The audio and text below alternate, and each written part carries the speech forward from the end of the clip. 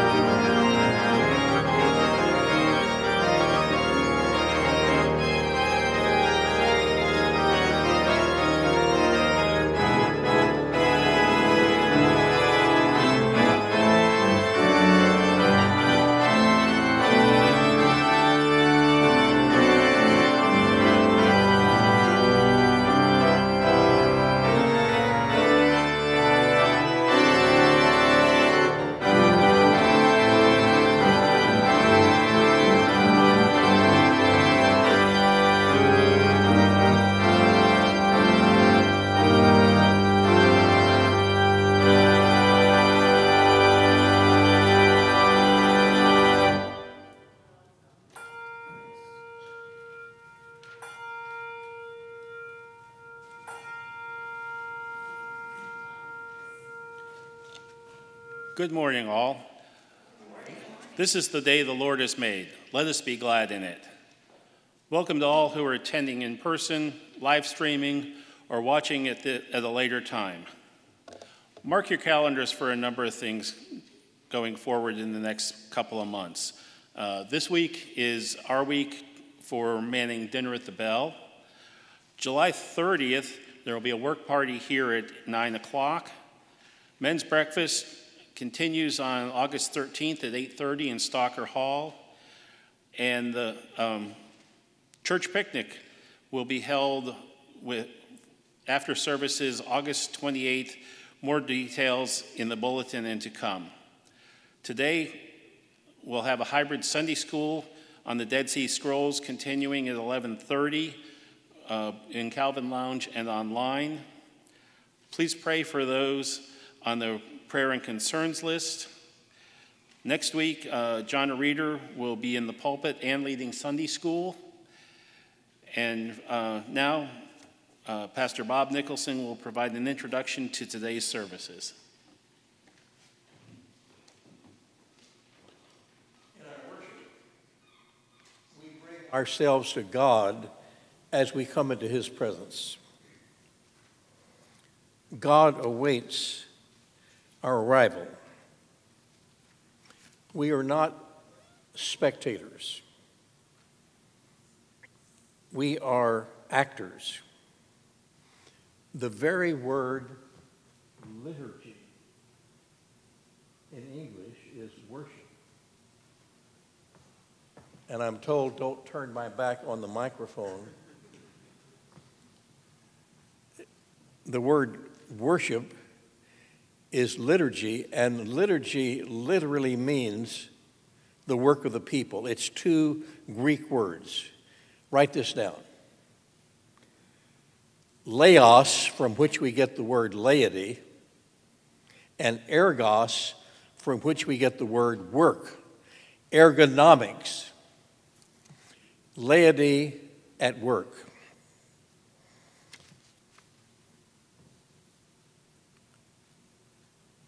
One of the most alarming, distracting things I learned just recently was what we call the places you sit. What do you call that?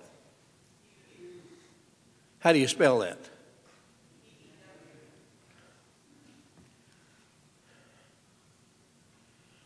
So I drilled down. The word pew comes from a Middle English word, P E W E, P E W E, which means balcony. Does this come out? Yeah. Can I do this? Can you still hear me? Balcony, pew.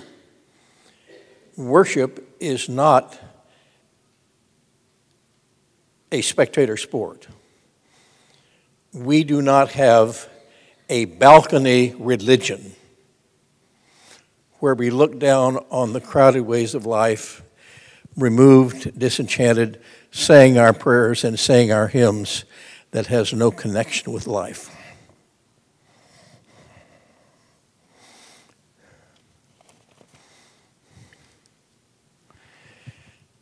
In churches that I've served, since the pews are not balconies, we have renamed them workstations. You're sitting at a workstation.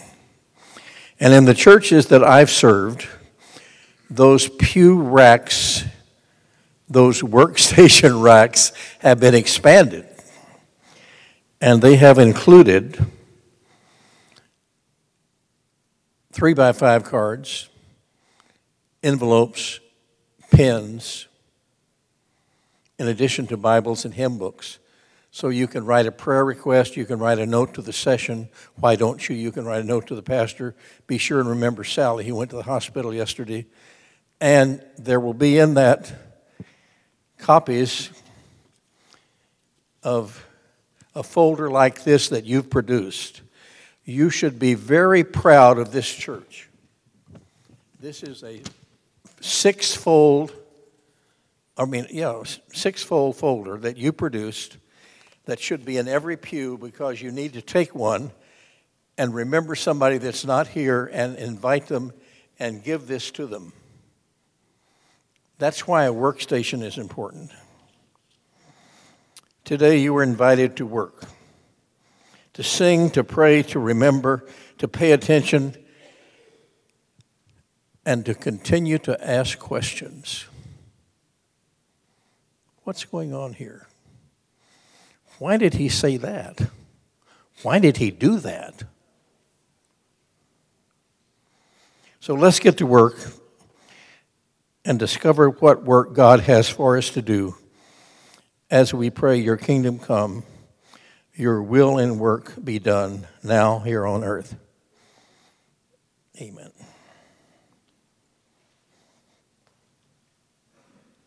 And now we continue with the call to worship. Please participate responsively. Listen up now. Praise God. Bring a gift of music and song. Sing, your, sing yourselves into God's presence. Know that God is.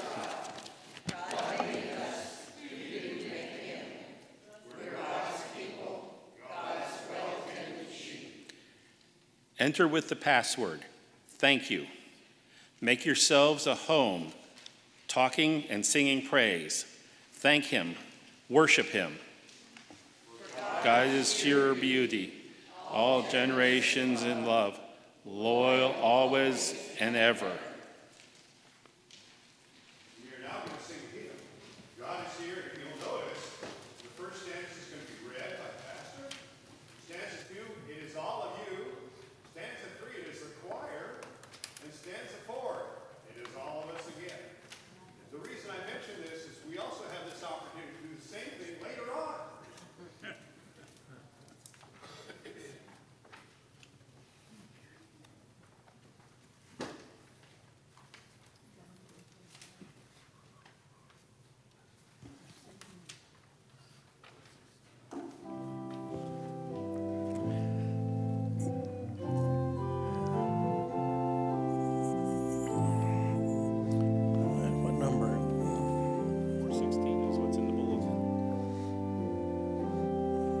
We're going to start again.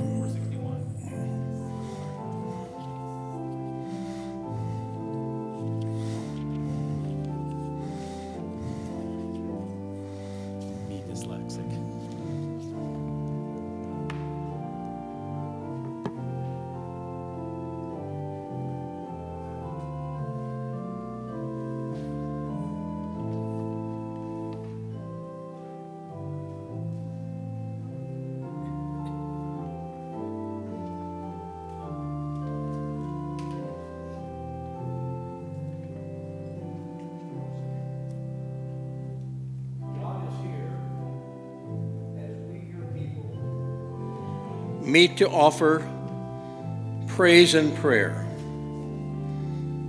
May we find in fuller measure what it is in Christ we share. Here, as in the world around us, all our varied skills and arts, with the rising of the Spirit into open minds and hearts.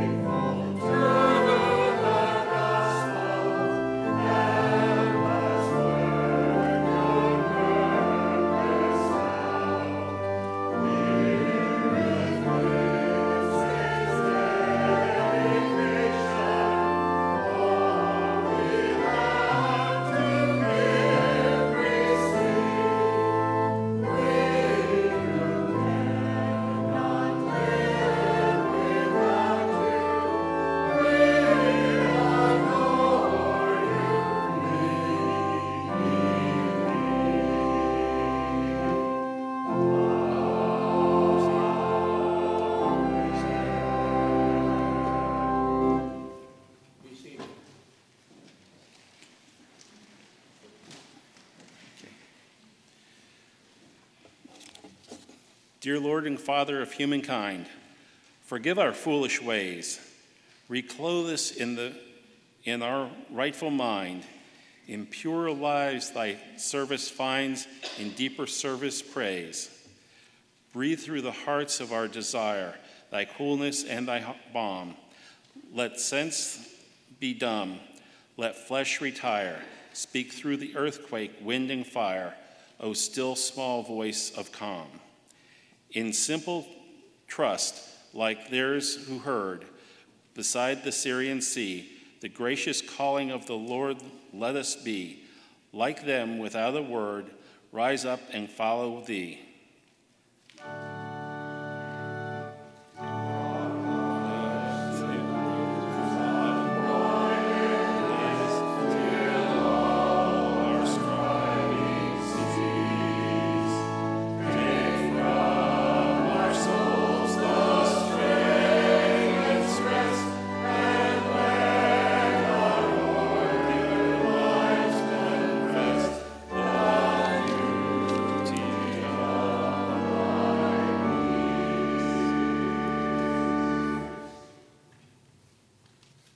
Take from our souls the strain and stress. Let our ordered lives confess the glory of your name. May your love come to us, your power embolden us, and your grace forgive and lead us to be the new creation in Christ that you have promised. Amen.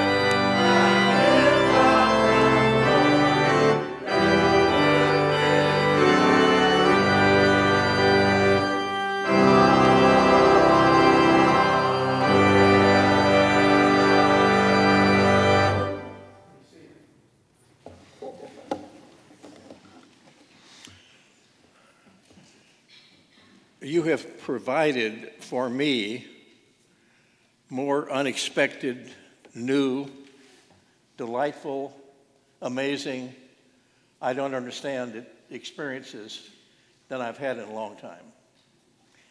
I'm going to ask my scouting buddies to come up now, stand by the piano, and we're going to do something that's not in the bulletin. It's my turn to surprise you. Ready? You don't sound ready. You're ready.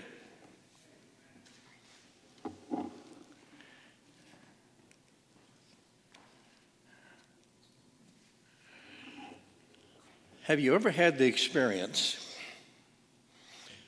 when you're on a path to do some specific things, some specific tasks, to get to some specific designations, and something comes up.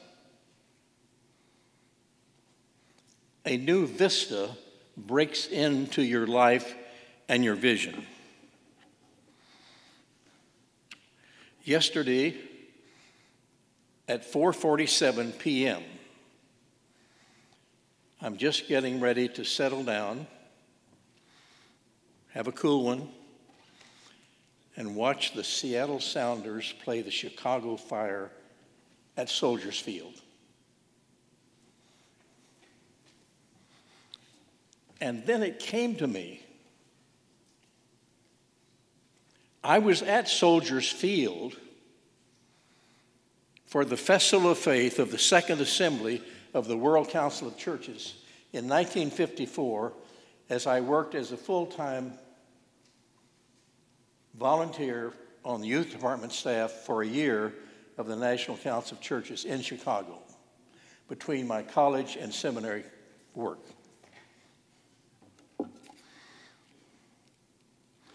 It was a moment of spiritual awareness.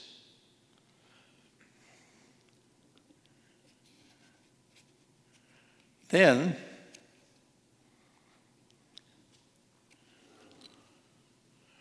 I got a box. Hand me the box.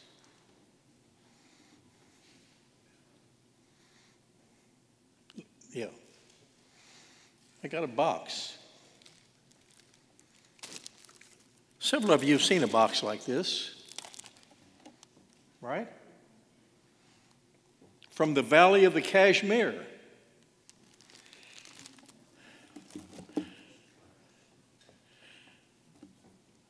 And I got to thinking. I've been through Cashmere on the Empire Builder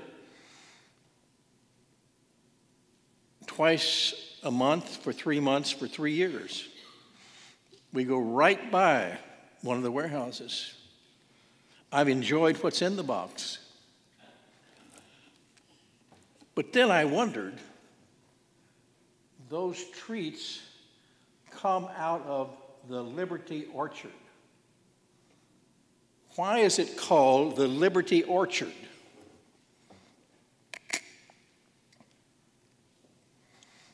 It's because two brothers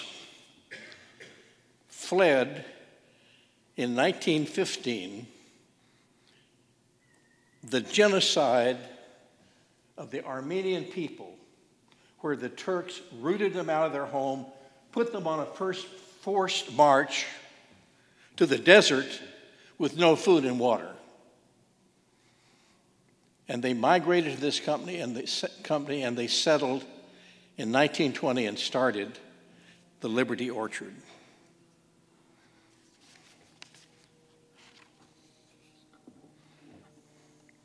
And then I went to a fresh fruit market, fresh fruit and vegetable market.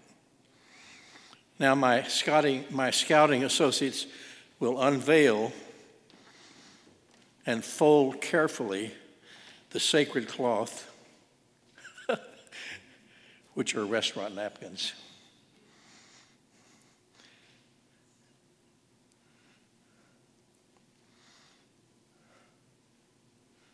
And there you will see, stand by, that step back, don't get too close. Get your hand off that plum. You got to watch him all the time. Um, and you know what came over me? In the fresh fruit and vegetable market, the wonderful hymn that's in your book For the fruit of all creation, plowing, planting, silently growing.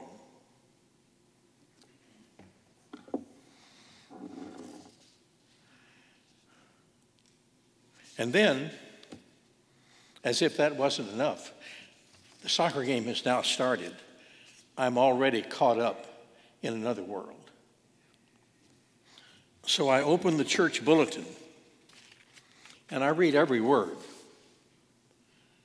And I saw the prelude and postlude that Gary has played and will play.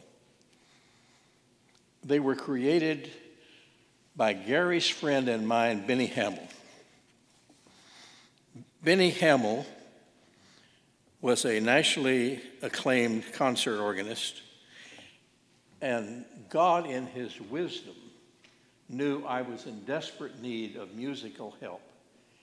And Benny came and said, Bob, you have a new three manual Rodgers organ. I don't have one in my apartment. Could I use your organ to practice? Here's the key to the church. And so from time to time, he would stand in for our regular organist. And then Betty and I had the idea one night at midnight, a neighbor, we're in a neighborhood, blocked off the streets so there wouldn't be any noise. And I had a cassette recorder. And he sat and for an hour and a half sat at the console of that Rodgers 890 Westminster organ. And he played familiar hymn after familiar hymn with no music on the organ. He created that night the music that Gary has played for the prelude, and he created the music Gary will play for the postlude. And I didn't know until just before services that in my wisdom I had invited Gary to be there. And my wife had prepared uh, hors d'oeuvres and some refreshments. But in that Lake City Presbyterian Church setting at midnight, a concert at midnight, the music was written that Gary is playing. Do you know what that does for my heart? I can't describe it. So I get distracted. I lose my place. I forget my bulletin. I look at the wrong hymn. You wonder, is he lost again? I was lost in wonder, love, and praise. And I thank God, and I thank my scouting friends who are going to be back to help with the second act with the farmers market. Thank you.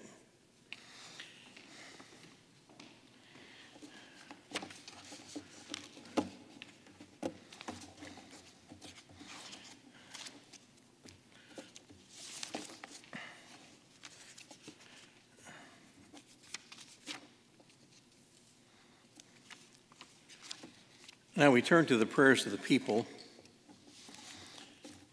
And I want to make my confession first.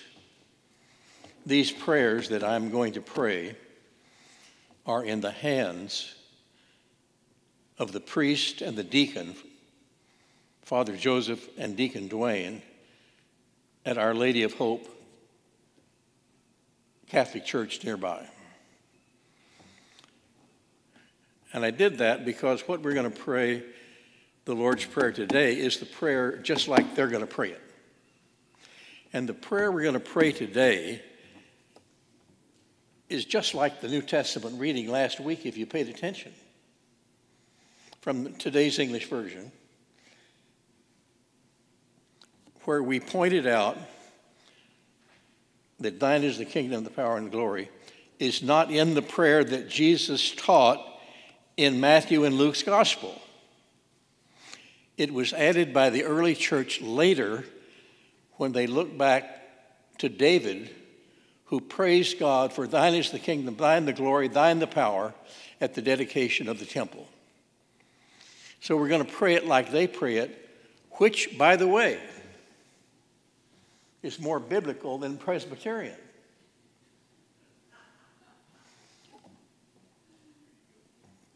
That ought to tighten John Calvin's knickers.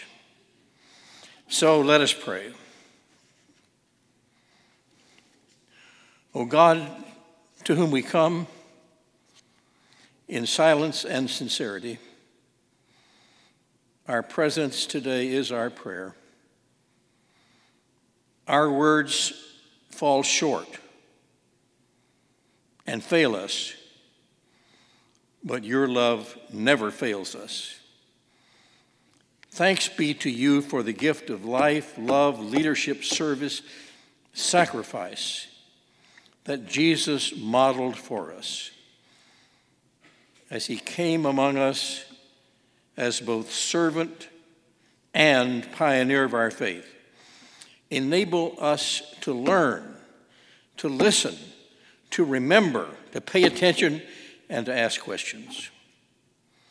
Let us today recommit ourselves to this way, His servanthood, His unconditional love, and the hope He brought and the hope He brings to us.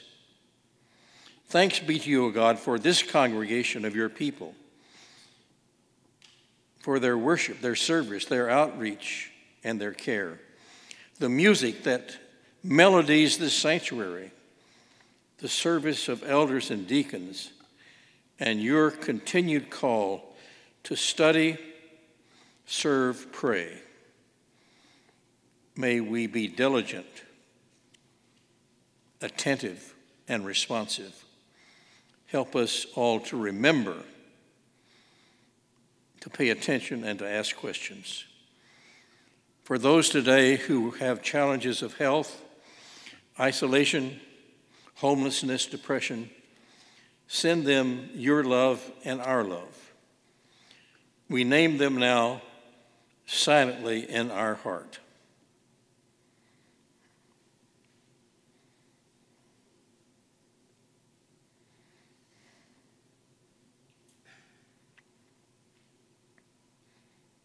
Now, as our Savior taught us to ask for forgiveness of our sins and to save us from the time of trial, we pray together with our Roman Catholic brothers and sisters nearby at Our Lady of Hope. Let us pray. Our Father in heaven, hallowed be your name. Your kingdom come, your will be done on earth as in heaven. Give us today our daily bread. Forgive us our sins as we forgive those who sin against us. Save us from the time of trial and deliver us from evil. Deliver us, Lord, from every evil, and grant us peace in our day. In your mercy, keep us from sin and protect us from all anxiety as we wait in joyful hope for the coming of our Savior Jesus Christ. For the kingdom, the power, and the glory are yours now and forever. Lord, listen to your children praying.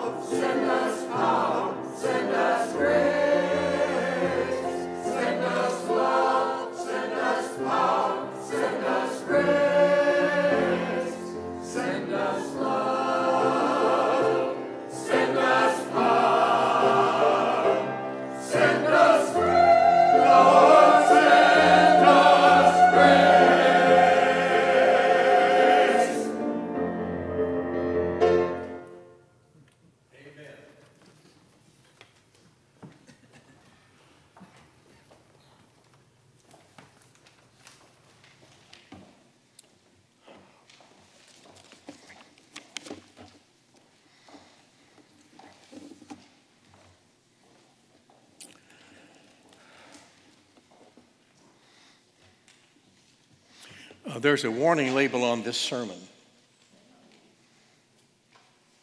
Not suited except for mature audiences.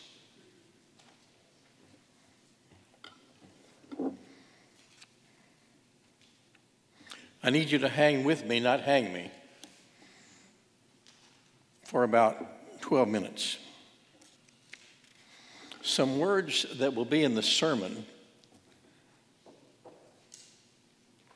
will be unsettling to you. They were spoken to me by a ruling elder in my congregation. They were not unsettling to me, I welcomed them.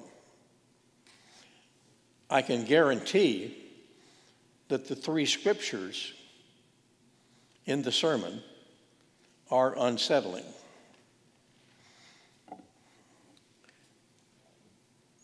We're taking them out of the place of the reading of Scripture, and they're going to be in the body of the sermon. I haven't forgotten. In my ministry, in my preaching over years, I have resisted, I have avoided pious phrases and biblical cliches, though I haven't always been successful. The one time that I especially was not successful was in Lubbock, Texas, in a big downtown church like this tall steeple on the radio across from the courthouse. Standing at the door as the people went out, and this wonderful, gifted ruling elder, civil engineer, good neighbor, said to me, quote, Pastor, you must have had a hard week because you didn't say a damn thing in your sermon.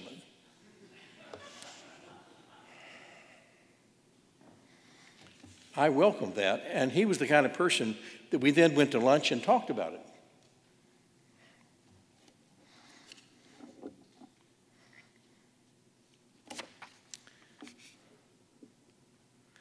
You must realize that people are leaving the church.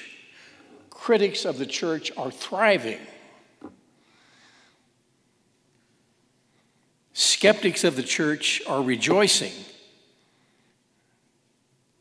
at our empty phrases and our pious talk. One critic said to me face to face, Your actions and your inactions speak louder than anything you say.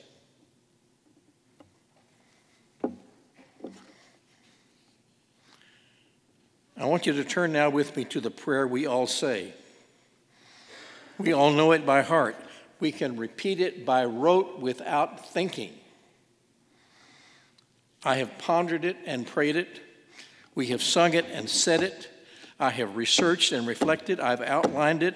I've studied its tenses, past, present, and future, our needs, what God comes to meet our needs as the Father, Son, and Holy Spirit. And I've come to one conclusion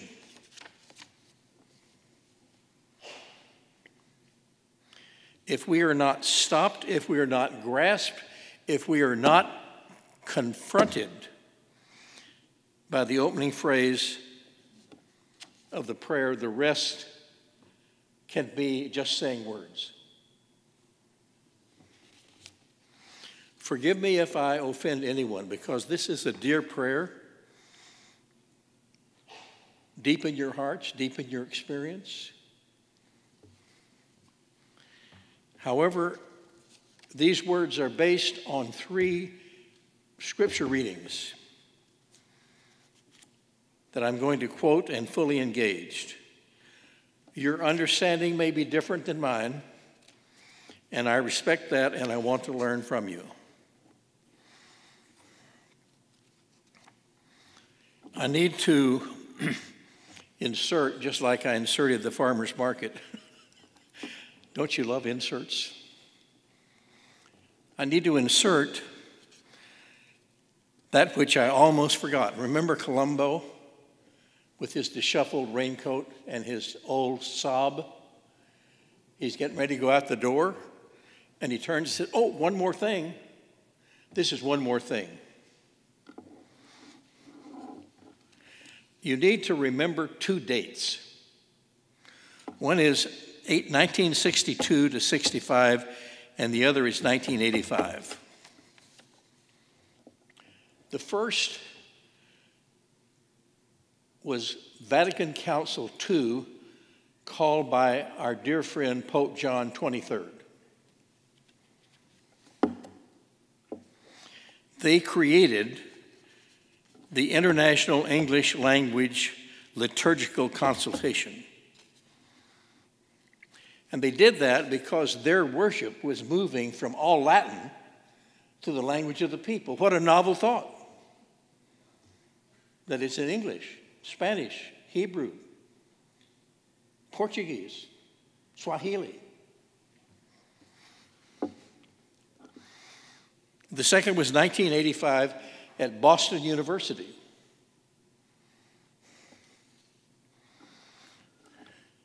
There,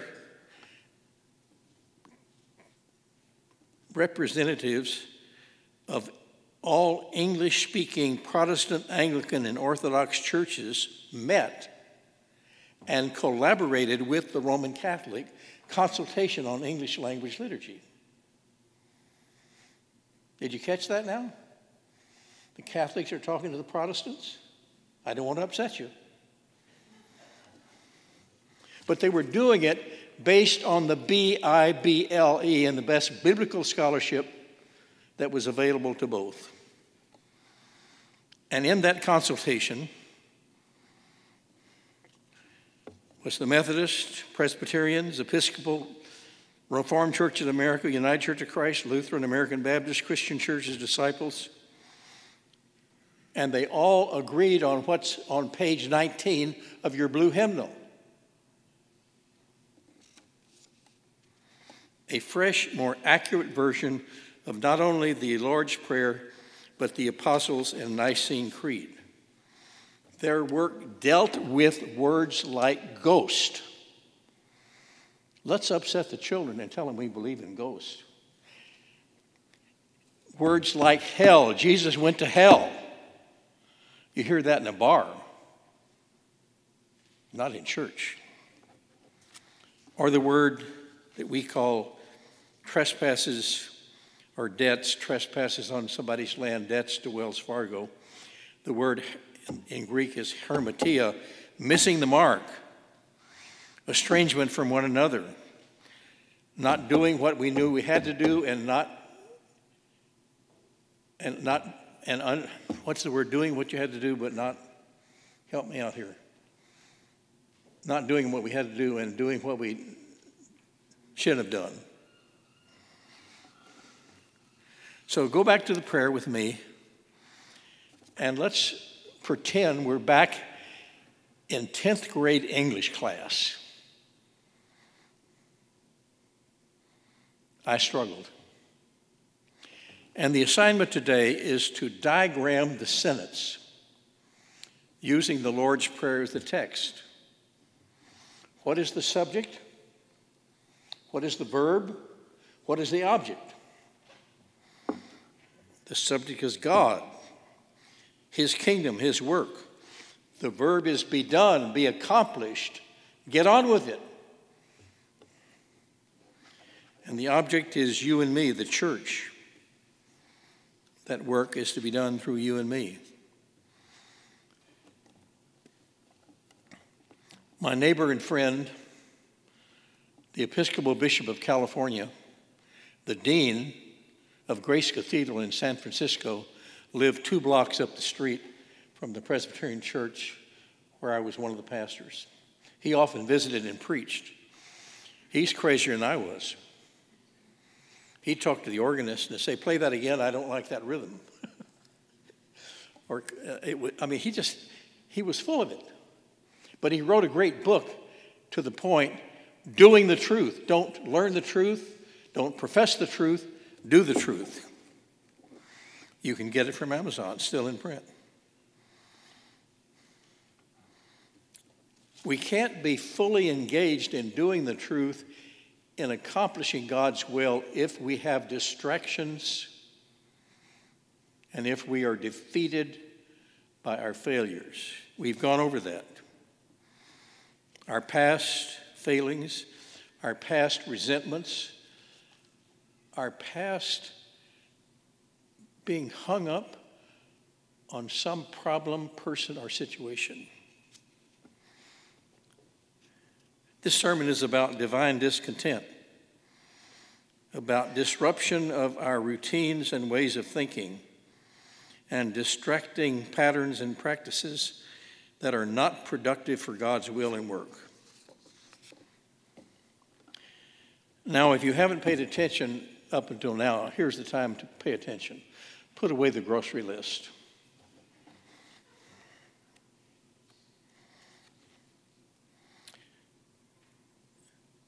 The living word is being addressed to you and me from God's written word. In fact, you've caused me to get carried away several times. I'm still carried away. I got so carried away that I printed the sermon out. And I gave a copy to Doreen. And I'm going to send her an electronic copy. And if you want a copy, you can email, call her, and she'll uh, email it to you. And they're about some folks where I live at Aljoya on Thornton Creek near Northgate Station. Some call it a retirement community. I call it a launching pad to life. They got, we got into conversation. They said they'd like a copy. So there's six copies here if any of you want one today. The first is God's purpose, God's work, and God's will. John 3:16. You've seen it at football games and baseball games. The sign hanging down from the balcony. God so loved the world.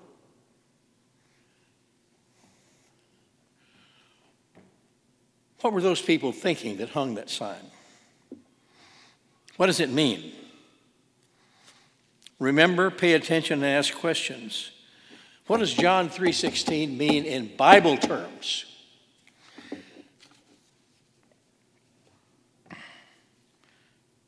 God so loved the world. What does the word world mean in Greek in that prayer?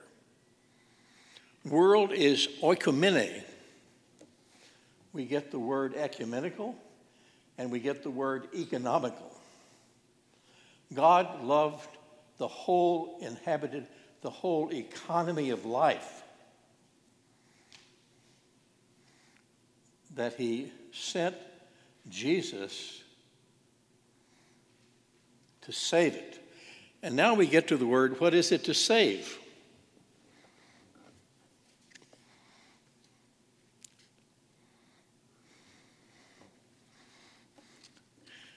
The word save is sozo.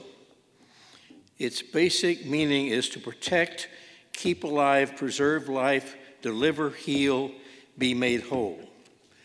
And there's a whole other sermon on the church call and mission to create wholeness in our world. And if that's not enough, listen to Jesus' words to you that describes your identity. Remember last week we went into great things about ancestry and patriots and so on? Your identity is described by God in His Word in John 6 16. You did not choose me, but I chose you. I appointed you that you might bear fruit, and it's fruit that will last, not just the fruit on the table. Bear fruit, fruit that will last. And if you don't think that's enough, Pay attention and ask questions. What about Paul putting before us God's claim and call? In 2 Corinthians 5:19, God was reconciling the world to himself and giving us the ministry of reconciliation. Every elder, every deacon, Every minister in the Presbyterian Church USA has this historic 10 page statement of faith that is devoted to what that passage means. Read it, study it, pray it, appropriate it for yourself and for the mission of your church. That statement of faith begins with one astounding sentence. And when I go around and visit churches and visit ministers, I ask them, um, I'm coming undone. I ask them, uh, how do you understand and how do you apply this basic statement of faith that is our Presbyterian Church statement of faith? And the statement is this it's one sentence, but it's dynamite. It affects our worship, it affects our prayers, it affects preaching. The church, it says, is called upon in every age to proclaim in word and deed the needs as the time requires. And you ask, what words are you using? What deeds are you doing? What does this time require? And most pastors change the subject. So stop, pay attention, ask questions. God is reconciling the world to himself. In fact, I got so carried away, carried away again that I printed out my friend Joe Small, Dr. Joseph Small, is the director of the Office of Theology and Worship of the General Assembly. As this was written in 1967, it's all male language, so he wrote it as an inclusive language document. And I printed it out and I gave it to your library in Shirley, so you've got it there uh, in inclusive language. And it's, and it's online and it's in the sermon that you can request from Doreen or pick up one here. So, in short, remember who you are in God's eyes. Pay attention to God's call. Be faithful to you, to who you are as Reformed Presbyterian Christians, and ask questions about your life, your church, your heritage, what's going on in the world around you. How can you be more present? Dare to ask, dare to imagine. And to God be glory in the church throughout the generations, forever and ever. Amen. Now, we turn now to the closing hymn. You know, the spiritual, I know the Lord has laid his hand on me. I felt that when I was in kind of a funk, a down, a, a bad mood, and I wrote these words just a closer walk with you, and then we're going to wrap it up.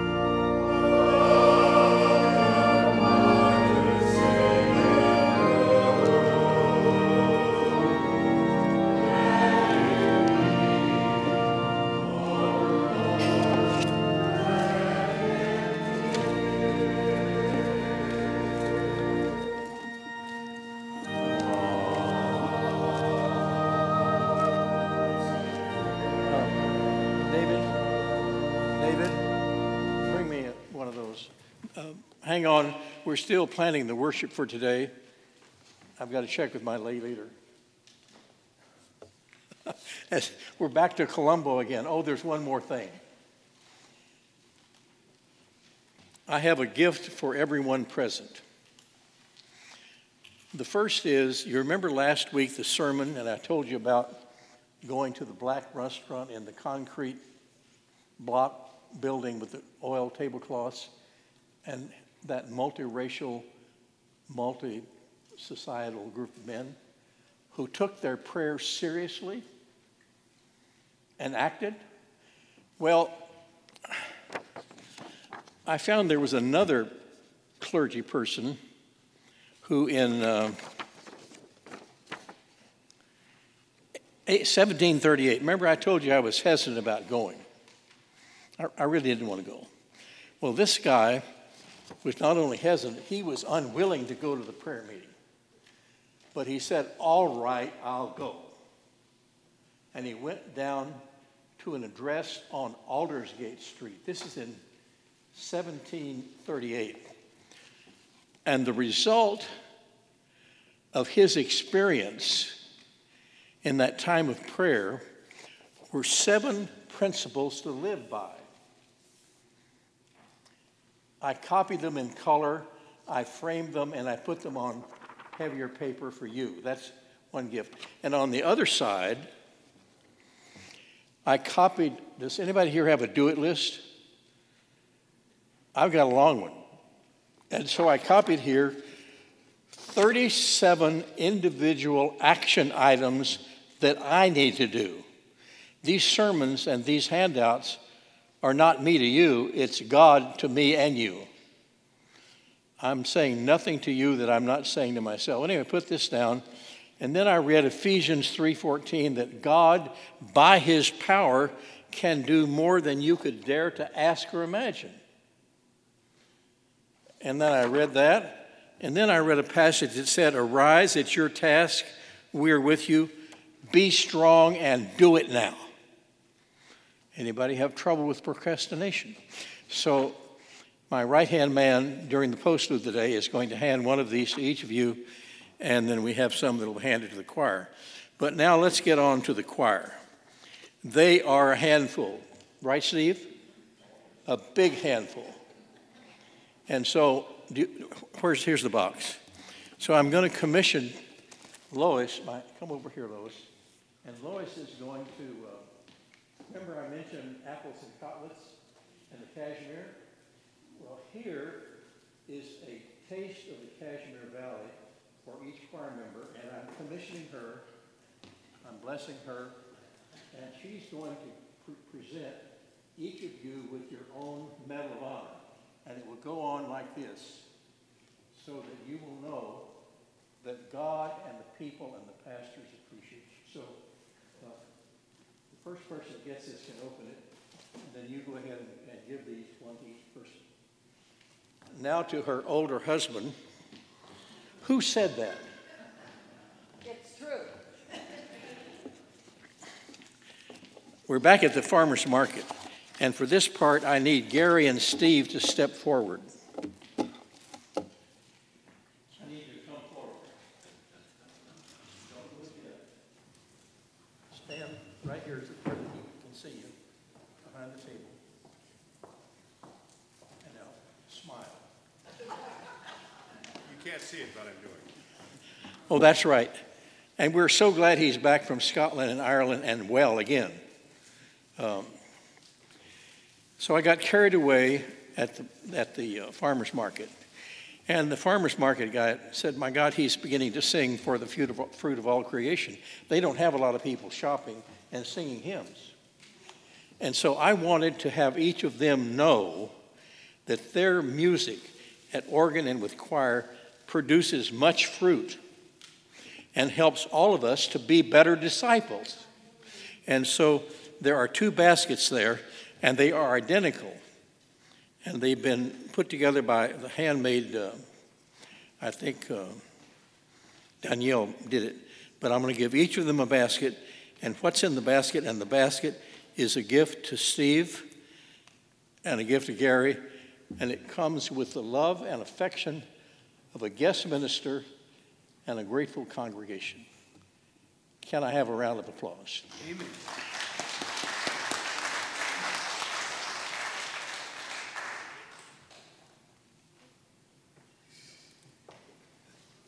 Step up here, small finger.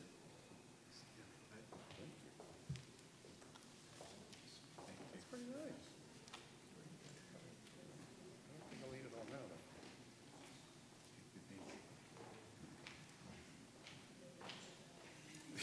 More fruit.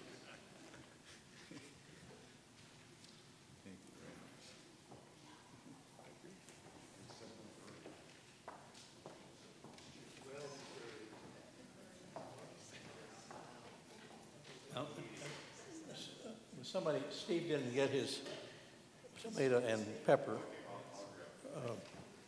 Uh, Here are extra sermons. And now it says, uh, what does it say? The benediction. Uh,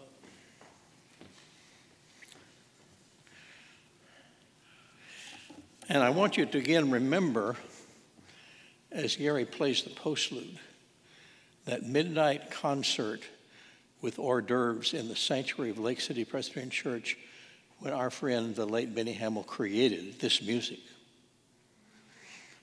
Now we time, turn now to go forth, go forth with God's blessing. And may God's love be yours. May God's power be yours. And may the grace of our Lord Jesus Christ and the love of God and the communion and fellowship of the Holy Spirit be with you all now and forever. Amen.